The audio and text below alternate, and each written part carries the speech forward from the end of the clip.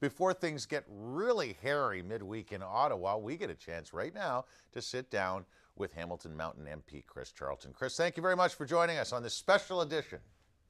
So you used to do opinionating on this uh, TV station all the time, and it was never special. Now you're a special edition. How does that feel? Thanks, Jason. You're making me feel right at home here. Uh, the Olympics. Let's start with this. It's over, um, and we do have word from Ottawa, I guess, that the investment with this Own the Podium program isn't going to be like it was anymore. Yeah, unfortunately, the federal government has said it's not going to recommit to the levels that it's funded the program before. And you know what? Canadians are so proud of the efforts by, by Canada's amateur athletes. We, we, they had an amazing performance at these Olympics. We've taken on a record number of golds. Um, and yet, at this very time, when people are getting excited about enrolling their children in sports programs, at the very time that we're talking about needing to fight childhood obesity, the government is cutting the very programs that give kids a goal of excellence in sport. Yeah, and the kids got to be at this point, especially what with the games through, really looking forward to getting involved. Yeah, absolutely. It, doesn't send a, a, very good message. Uh, you know, it's it's funny though, Chris. You think about it before the Own the Podium program. All we did was talk about how we don't invest enough in our athletes. Then we finally do, and what is it? Didn't last very long, did it? No, unfortunately, it didn't. And you know what? I, I was somebody who took issue with the notion of own the podium. Um, while I absolutely uh, support the search for excellence, uh, the reality is a whole lot of people are participating in sports. They're doing their very best, whether they win gold or not. These are incredible athletes that deserve our support. And if we want to nurture that notion of sportsmanship and athleticism, then we need to support them by making the programs affordable and accessible for our athletes. And by cutting the Own the Podium support, I think the federal government is doing a huge disservice to younger Canadians. Okay, let's take a break from the money aspect of the games and conclude with this. Did it effectively in Vancouver bring us together as a nation? Oh, I think when you look at the uh, fan support that the Olympics enjoyed right across the country, I think they absolutely did. There was a tremendous pride in our in our amateur athletes. You know, the final uh, story on these Olympics is going to be written later, and I'm sure there'll be many who will take a close look at the books and the financial aspects of the Olympics. But as Canadians, you know, if you were anywhere in our city last week and watched the enthusiasm, not just for the hockey games, which I guess you generally expect, but the new sports in the Olympics, Canadians were right behind our athletes, cheering them on every step of the way. And it was, many of them were great moments of national pride that were unifying. All right, MP Chris, uh, you, you, were right behind uh, the winners at the recent Hamilton Mountain uh, John C. Holland Awards. Uh, how'd it go? They were fantastic. I've been at many of the John C. Holland Awards dinners. I think this was the biggest one that we've ever had. The room was packed. The mood was fantastic. And I just want to say kudos to the organizers. They put on an amazing event. And it's always one of my favorite parts of Black History Month in our city. A lot of talent in the house annually Absolutely. with that one. All right.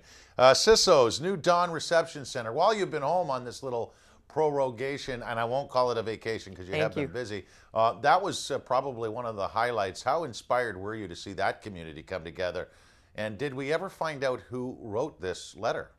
No, you know what? To the best of my knowledge, I don't know who wrote the letter, but as I said at the event itself, you know, one person with access to a photocopier is no match for our community, for the compassion, for the goodwill that exists in Hamilton.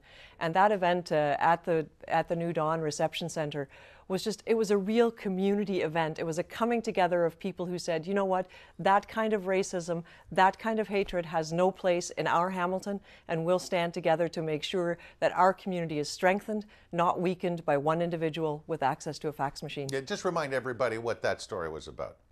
Um, well, the, somebody who uh, who flyered the community in opposition to the New Dawn Reception Center being uh, established on the mountain took uh, took issues and unfair jabs at uh, who the residents may be at that New Dawn Reception House, and was essentially trying to make a case suggesting that uh, you know property values will uh, will go down as a result of this.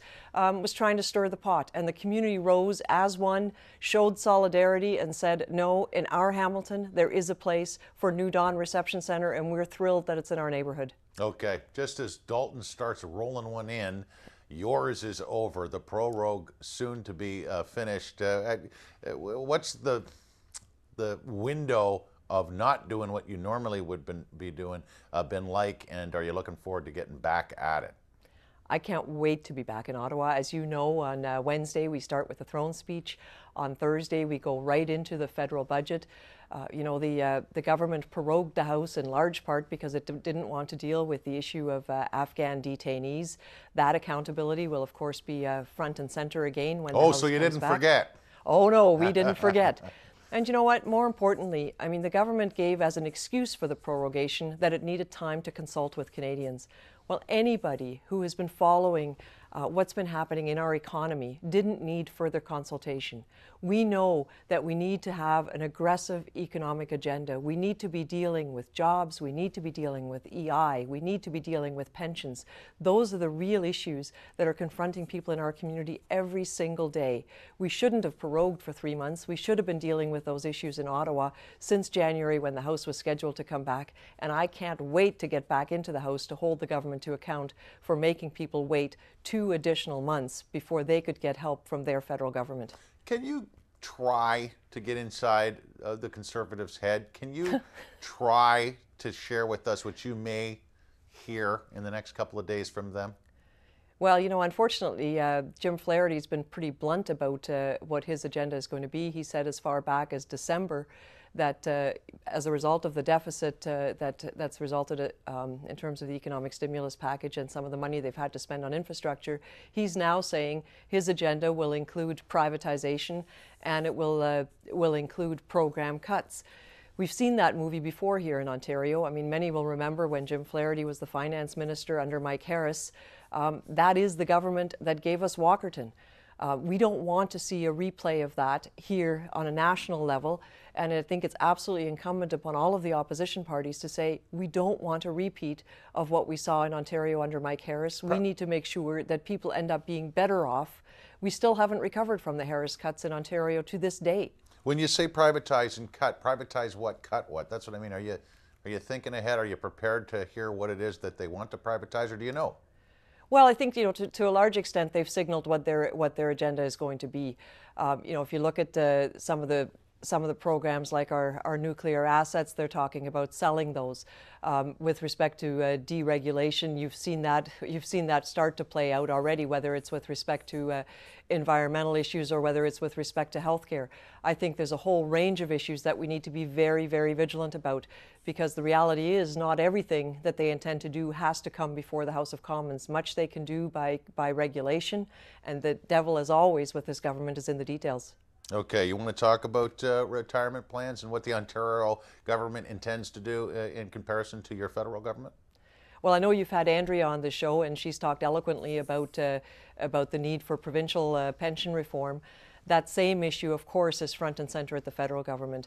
With uh, so many pension plans now being underfunded, with companies on the brink of bankruptcy, Canadians are profoundly worried about the future of their uh, retirement income security.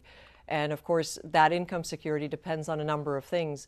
First and foremost, the universal system is the OAS and the GIS. And as you know, we've been uh, advocates of increasing the GIS because seniors are finding it almost impossible to make ends meet right now.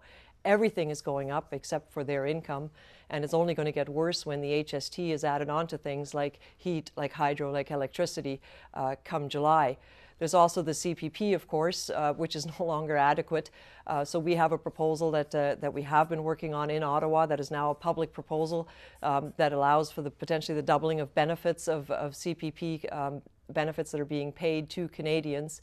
And the final piece, of course, is uh, is company pension plans, making sure that when companies do go bankrupt, that the innocent victims of those bankruptcies, who are the workers who for years have contributed to pension plans, don't lose their pension benefits as a result of that. This is pretty serious stuff, isn't it? Absolutely. You know, um, when people go to work, they do that in good faith. They negotiate wages, they negotiate benefits, they negotiate pensions. And what we've seen, you know, you'll recall it, it happened at CH. It's certainly, uh, you remember the CCAA protection at Stelco. At the stroke of a pen, the reality will change for people in their retirement planning. This is, these are bread and butter issues, and people are losing their homes. They're worried about, uh, about their futures. They haven't done anything wrong, and we need to protect them.